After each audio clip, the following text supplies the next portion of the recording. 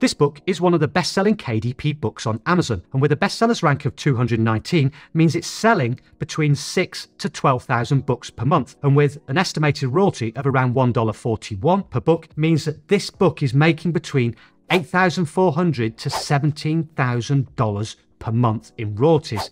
That's pure profit. But it gets better because twice a year, this book sees a boost in sales, which means during those times, this particular book is making somewhere between 12,400 to $24,900 per month. And that's because it belongs to the overall back to school niche, which means it sells pretty well throughout the year, but around September and January each year, it sees this significant increase in sales.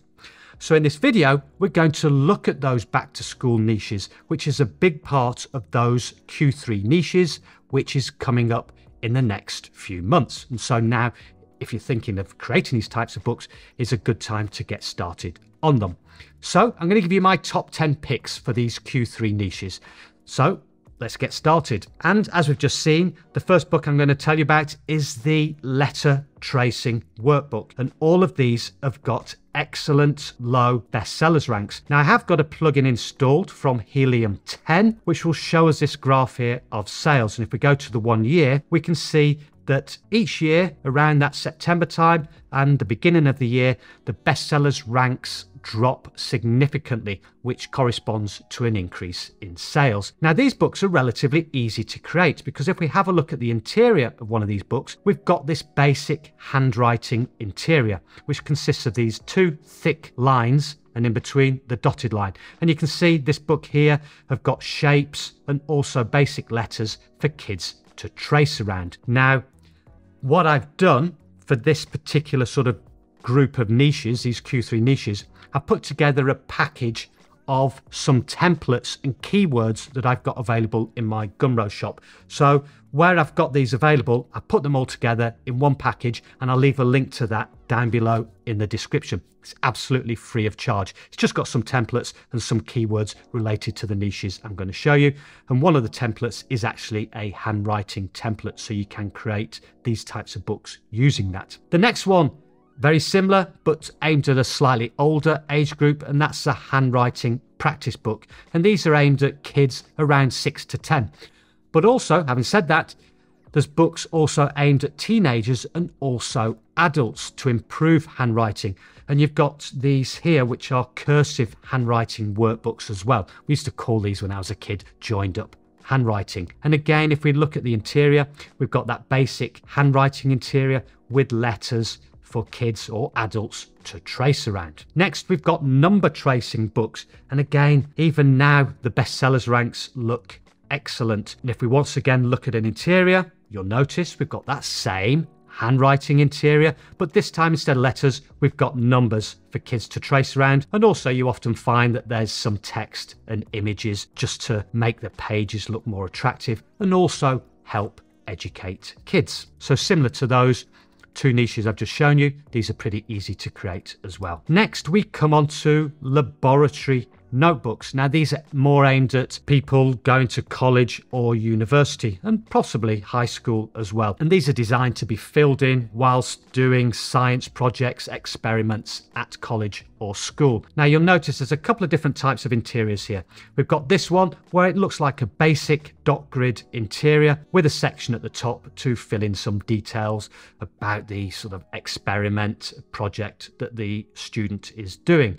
And also very similar, this is another type that I often see. Instead of the dot grid, we've got the graph paper interior and again an area where students can fill out their details. Again, something that's pretty simple to create. Next, we've got Cornell Notes notebooks, again aimed at students at college and university. And the idea behind these is that during things like lectures, students can fill out the main points of the lecture with notes and also a summary. And again, these sell well all year round, but especially in that September and early January time period. Next, we've got these sight words activity books. Very good, low bestsellers ranks, and very similar to the handwriting books.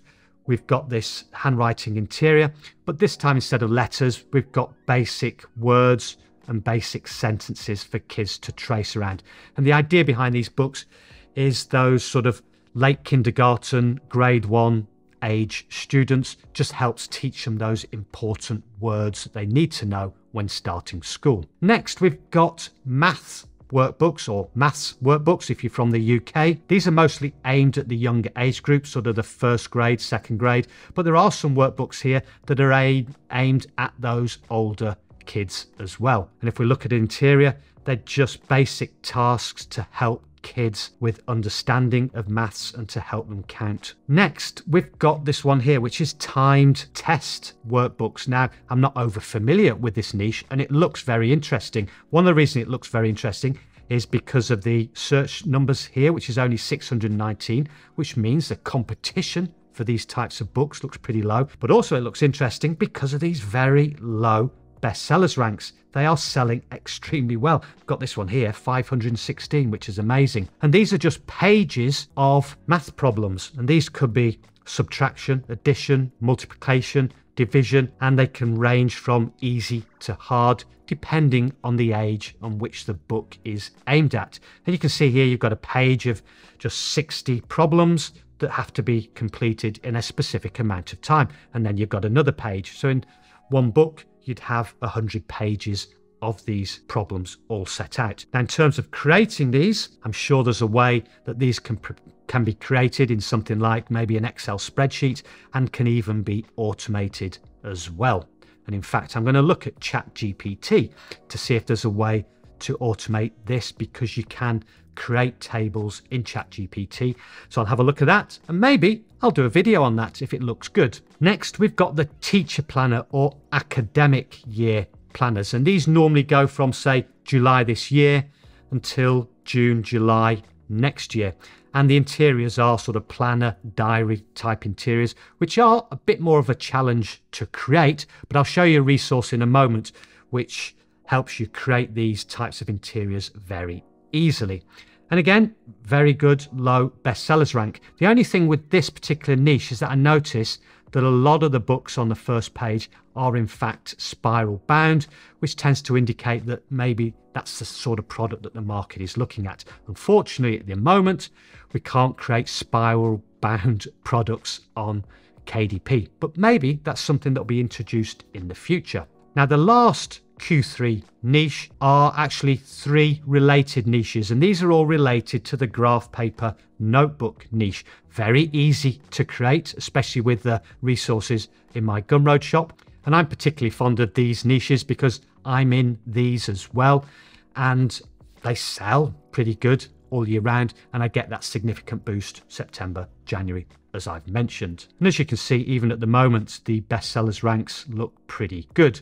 One related to this is the isometric graph paper workbook, and these are more aimed at things like architects, 3D designers, and also, I think, as we can see here, Dungeons and Dragons players. And the last one of this group is the hexagonal graph paper notebooks, and these are more aimed at organic chemistry students for writing out chemical structures and formulae. Don't sell quite as many as the normal graph paper notebooks, but looking at the bestsellers ranks, again, they look pretty respectable. In terms of creating the interiors for these, I've already mentioned some of the templates which I've included in that batch in my Gumroad shop. Again, link below in the description.